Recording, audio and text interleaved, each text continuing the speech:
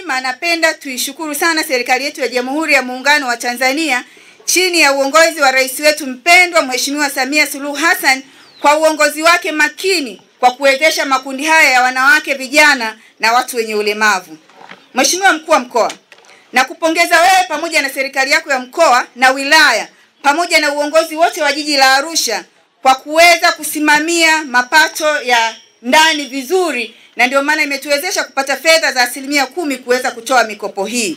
Sambamba na hiyo, napenda sana kuwashukuru maafisa maendeleo ya jamii katika kata zote ishirini na tano kwa kujitoa kwao katika kufanya kazi kwa juhudi na weledi mkubwa katika uundaji wa vikundi na mchakato mzima hadi vikundi hivi vimeweza kupata mikopo.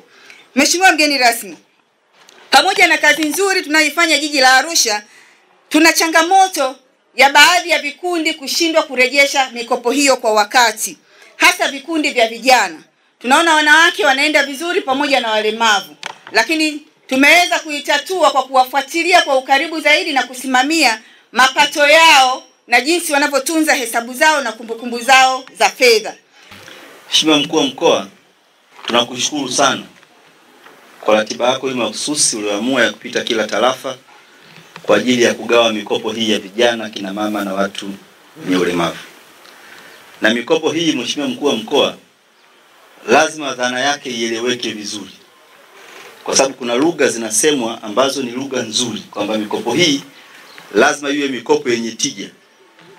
Sasa tija inategemeana na aina ya shughuli unayoifanya. Kama shughuli yako ni ndogo, utakuwa na tija, lakini kwa kiwango cha shughuli unayoifanya. Kama shughuli yako ni kubwa, utakuwa na tija kubwa kulingana na shughuli unayoifanya. Lakini msingi wa mikopo hii ni kwa ajili ya kuwasaidia watu wanyonge, watu masikini, watu ambao hawaaminiki na wadhaminiki kwenye taasisi za fedha. Leo ukienda benki yoyote ile Tanzania, ili ukopeshwe, atakwambia lete hati ya nyumba, sasa au lete kadi ya gari. Sasa unajiuliza kama mtaji wenyewe tu milioni moja mbili ni mtihani, sasa gari na nyumba ni, ni balaa kubwa zaidi. Ni mikopo ambayo inatolewa bila riba ya aina yoyote. Kwa ni mikopo ambayo serikali ya Chama cha Mapinduzi chini ya rais wetu na mwenyekiti wa chama Mama Samia Suluhu Hassan wameitengeneza ili iweze kumsaidia mwananchi masikini mnyonge aweze kuinuka kibiashara na baadaye sasa shakuwa mkubwa aweze kuaminika kama na benki na taasisi nyingine za fedha. Lakini Mheshimiwa Mkuu wa Mkoa, nikisema mambo yote haya ya mikopo na nini, na kwa sababu fursa ya kukutana na wewe ni fursa adimu, nisipochomekea na masuala mengine nitakuwa sijitendei haki.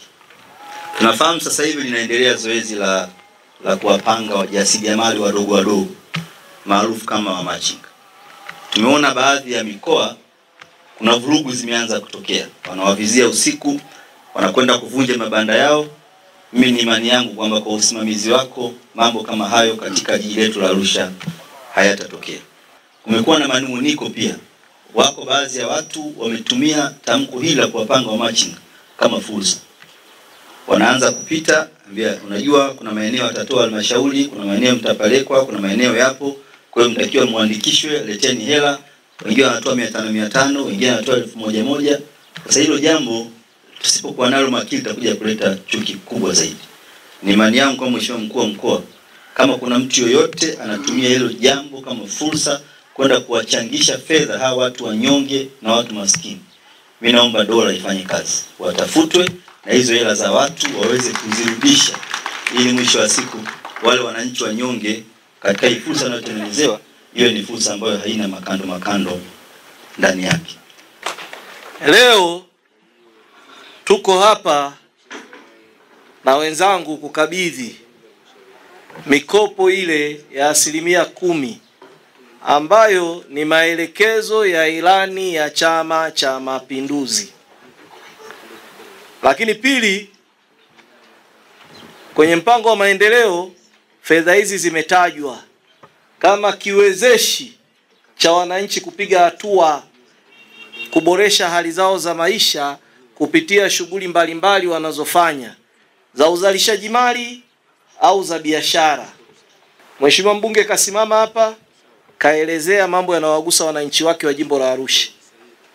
Niwapongeze sana viongozi wa wilaya ya Arusha. Hiki kinachofanywa jiji la Arusha, maeneo mengi mimi nilikoona na nakosikia akifanyiki hivi. Sasa mheshimiwa mbunge kasema hapa swala la tija, rais amelizungumzia. Lazima tukae, afisa maendeleo ya jamii na mkurugenzi, tukae. Na sisi kama mkoa na rasi tumekubaliana. Tupate mwongozo mzuri ambao asilimia kumi hizi zitakuwa zinaonekana kwa macho kabisa, ukipita barabarani unaziona. Mheshimiwa mbunge hapa akatusaidia, anasema tayari kuna malalamiko, kuna wajanja wameibuka, wanaandikisha watu kwa kupokea mia tano na elfu moja. Mi nataka kusema kwanza, unakaaje Arusha alafu unakuwa mshamba kiasi hiko? Kwamba wewe anakuja mtu toka toka nyumbani kwake anakuambia nipe mia tano nipe elfu moja. Sinenda jiji basi kachukue ka, katoe hizo hela. Na mimi mheshimiwa mbunge hili mimi nalifanyia kazi. Na kama kuna mtu kachukua hela ya mtu salama yake ni mambo haya mawili. Arudishe au ahame. Akimbie na tutamsaka tu kokote atakakokwenda mpaka arudishe Haiwezi jambo Mheshimiwa Rais kaelekeza kwa nia njema ya kuwasaidia wananchi wake, wanatokea watu wanataka kujifanya wao wajuaji. Sisi hao, Mheshimiwa mbunge, wala usio na wasiwasi, utasikia kilio chao, watazitapika tu, na watu wao wanyonge siwalaumu sana. Inawezekana wanafika mahali wanatapeliwa kwa dhiki zao wanafikiria labda ndio nafuu. Mimi nataka kutoa ujumbe, hakuna tozo yoyote kwa machinga, na sisi tumeshakubaliana viongozi, zoezi la vitambulisho sasa hivi, wakati tunafanya zoezi hili hamna cha vitambulisho. Ili zoezi liwe smooth, hamna anayemdai mwenzake, wenye vitambulisho wamalize navyo. Sisi tunataka kwenda nalo mpaka mwisho wa mwaka liwe na amani. Vitambulisho sasa, eneo la wamachinga linajulikana ni hili hapa, tunasema bwana, hapa asiwepo asiye na kitambulisho kwa sababu masoko ya kawaida ni kitu kingine, masoko ya wamachinga ni kitu kingine. Kule kwenye masoko ya machinga kitakachokuwa kinahitajika ni elfu ishirini na kitambulisho chako tu, hakuna kingine. Masoko ya kawaida haya, ukishakaa Kilombero mule ndani lazima ulipe kodi. Ukishakaa soko kuu pale lazima ulipe kodi ila huku kwingine tunakoanzisha masoko ya wamachinga, hata pale Samunge tumesema lile soko tulianzisha kwa ajili ya wamachinga.